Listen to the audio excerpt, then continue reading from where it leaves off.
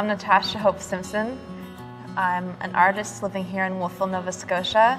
I graduated from NASCAD last year.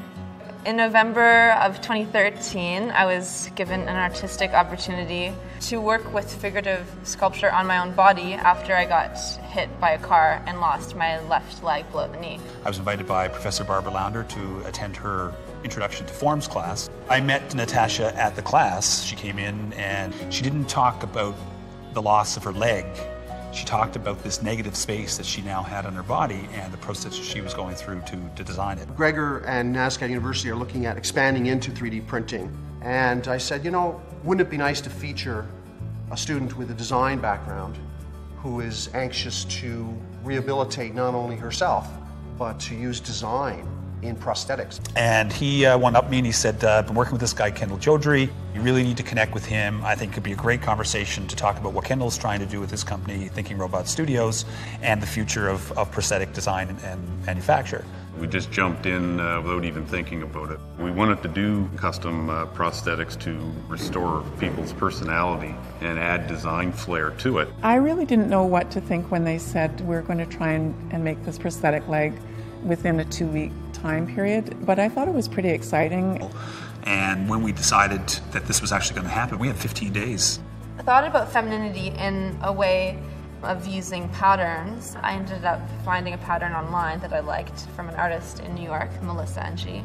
She had made these masks that had a very beautiful design printed on them, and they were 3D printed, so I knew that the design uh, would format with the software that we were using. The first time I heard about Natasha was when Kendall Jodrey of Thinking Robot Studios reached out to me. When he told me your story, I, I just had to uh, help in some way if I could. What 3D printing allows us to do is engineer those panels, those decorative panels that go outside, apply the imaging, and then print them with very little labor in between those steps. ProJet 7000 was the printer that uh, created the eight individual parts.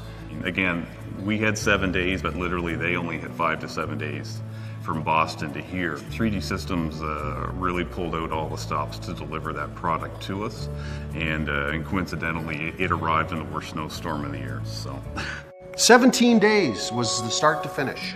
Scanning, accuracy checks and balances, CAD file preparation, production of the eight individual elements, and then the the resultant assembly and fitting. It's one thing to see something on the screen and to see the look on Natasha's face when she saw it for the first time was uh, made it all worth it. I thought the prototype was really beautiful and also that it really reflected what Natasha had been saying all along about the kinds of things that interest her. Our mission was to have something better than a prototype, but you know, given 15 days, a prototype is what we were able to get. It more than met my expectations. Like I said, I was new to the world of prosthetics, so when I saw the actual piece, it was really exciting to see what's possible.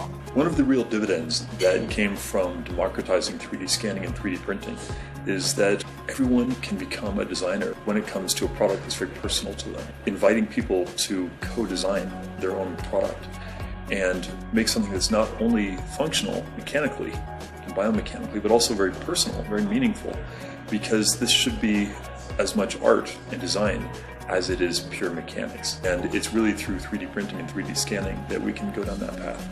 She spoke at the Seaport Maker Symposium. One of the things I thought was just so compelling was her comment where she said to the audience, You know, when I get up in the morning, I can decide what leg I'm going to wear. Natasha is one of those people that probably would have uh, at least half a dozen iterations that she might choose to wear at any particular day of the week. Before 3D printing, that was just not possible.